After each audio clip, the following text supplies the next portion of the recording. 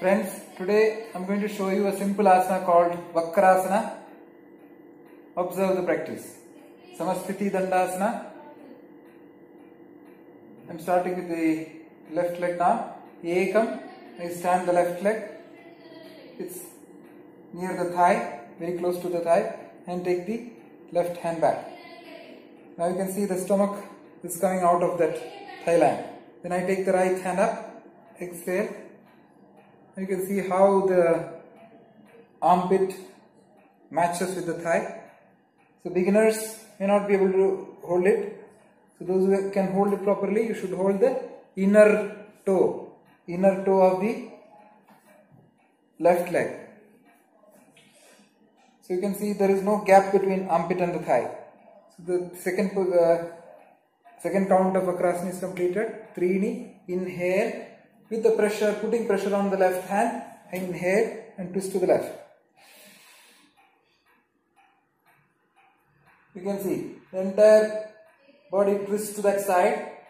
Drishti is fully on that wall.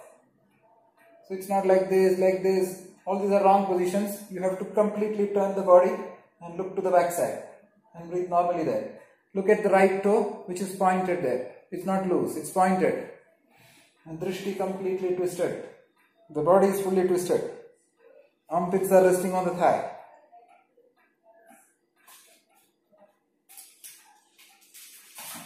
Then exhale and look straight. Remove the right hand. Left leg.